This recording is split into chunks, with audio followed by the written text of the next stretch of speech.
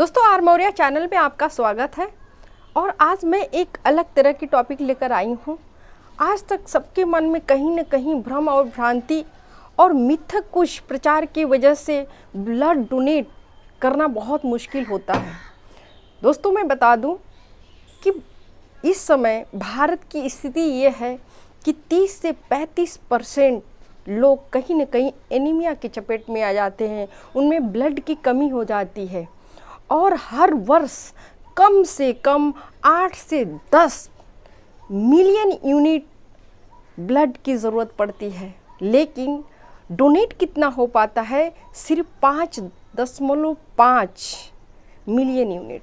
मतलब आप समझ सकते हैं कि आधा के करीब। इससे बहुत लोगों की जान चली जाती है। जिस घर में लोग ब्लड डोनेट करने वाले भी होते हैं जानकारी के बगैर कहीं कहीं डर की वजह से वो अपने ही परिवार को ब्लड नहीं देते।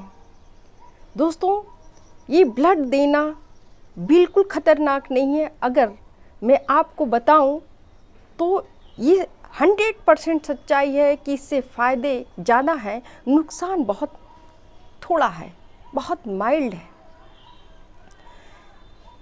एक व्यक्ति अपने जीवन में कई बार ब्लड दे सकता है। और ये ब्लड देने से क्या क्या लाभ हो सकते हैं क्या क्या फ़ायदा हो सकता है, वो मैं आपको बता रही हूँ, आप इसको समझिए। पहली चीज़ होती है कि आप मतलब जब ब्लड आप देते हैं तो उसके पहले आपके कुछ ब्लड टेस्ट किए जाते हैं। कुछ आपके ओल्डली चीज़ों को, जो वहाँ पे डॉक्टर्स होते हैं, जो लैब टेक्नीशियन होते हैं, वो आपसे पूछते हैं।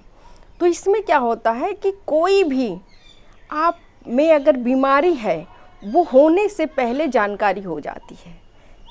आपका एक, मैं यूँ कहूँ तो आपका पूरे शरीर की कहीं न कहीं टेस्ट हो जाता है और आपको ये जानकारी मिल जाती है कि इस समय आप बिल्कुल स्वस्थ हैं। अगर किसी तरह का कोई प्रॉब्लम निकलती है, जैसे शुगर वगैरह, कुछ इस तरह की चीज़ें होती हैं, वो तुरंत आपको पता चल जाता है, जिससे आप समय से पहले इलाज भी ले लेंगे और बड़ी बीमारी से बच जाएँगे। दूसरी चीज़ होती है दोस्तों, ये हार्ट अटैक या हार्ट की बीमारी जैसे बीमारियों से आपका बचाव करती है। बहुत फ़ायदेमंद होता है, क्योंकि उम्र के साथ कहीं ना कहीं ब्लड ठीक होता है। मतलब गाढ़ा होने लगता है और उसमें क्लॉट बनने लगते हैं, जमा होने लगते हैं। जब ब्लड डोनेट कर दिया जाता है तो उसके पश्चात ये ब्लड पतले हो जाते हैं और पतला अगर ब्लड बॉडी में हो गया तो कभी भी हार्ट अटैक का खतरा नहीं होता। तीसरी चीज़ है दोस्तों कि आयरन जो लौह तत्व है हमारे शरीर में, जिसकी वजह से ब्लड बनता है। इसी आयरन की कमी हो जाती है, तभी हमें या किसी को ब्लड की कमी या एनीमिया हो जाती है तो इसका बहुत ज़्यादा होना भी शरीर में ठीक नहीं है। क्योंकि ये बहुत ज़्यादा हो जाएगा तो कहीं ना कहीं ऑक्सीडेटिव हो जाएगा, जो लीवर की बीमारी या लीवर जैसे लीवर कैंसर जैसे बीमारियों को ये बहुत ज़्यादा डेवलप कर देती है। तो आप लीवर की बीमारी से बच जाएँगे, हार्ट की बीमारी से बच जाएँगे।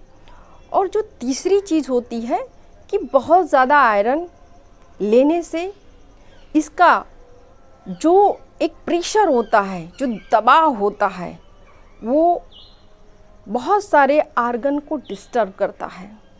उसमें लीवर मेन है और इसका जो ऑक्सीकरण है,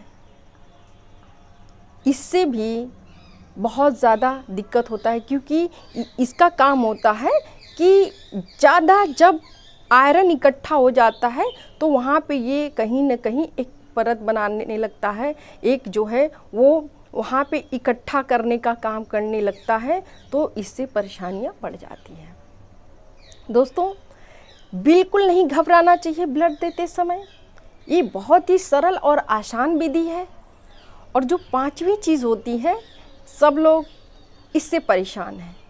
मोटापा, जो चर्बी बहुत ज़्यादा होती है तो ब्लड डोनेट करने से कहीं ना कहीं मोटापे से भी निजात मिल जाता है, मोटापा कम हो जाता है, जो व्यक्ति बहुत ज़्यादा सुस्ती जैसे वो काम नहीं करना चाहता, हाँपता है, मोटेपन की वजह से।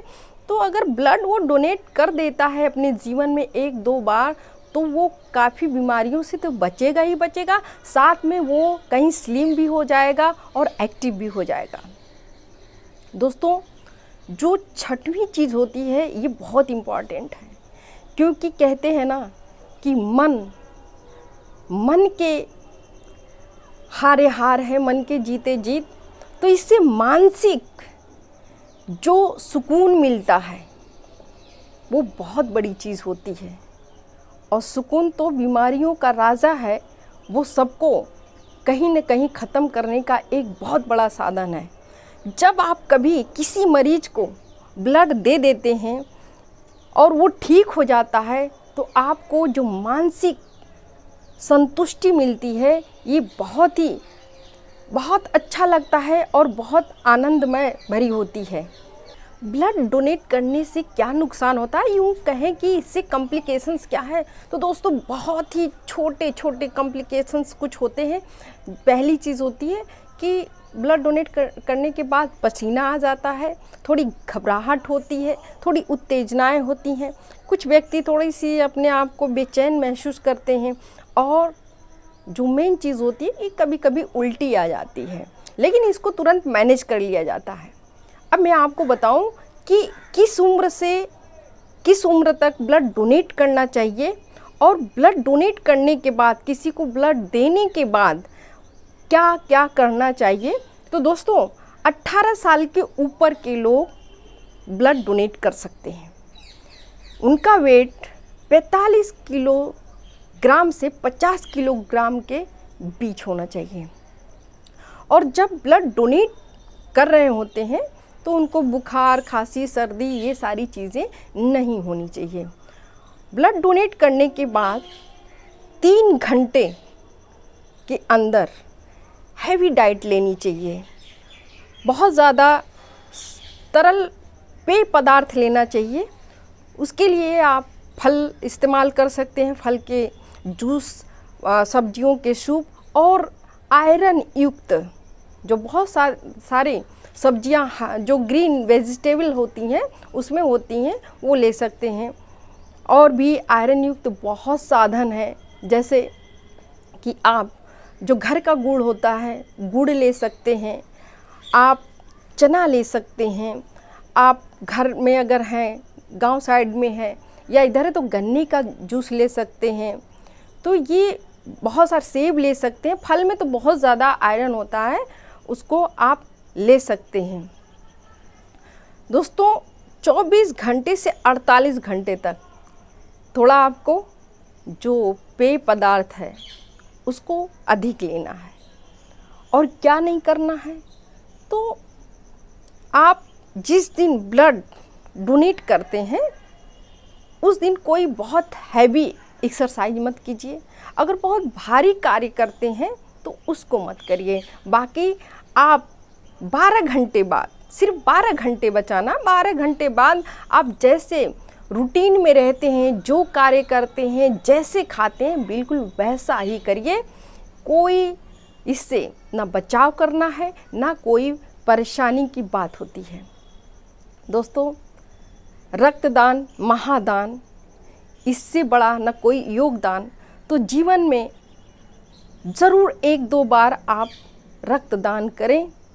इससे आपको बहुत ही ज़्यादा कहीं न कहीं संतुष्टि मिलेगी और आपको भी लगेगा कि आपने किसी का जीवन बचा लिया। तो दोस्तों, मुझे उम्मीद है कि ये टॉपिक आपको अच्छी लगी होगी।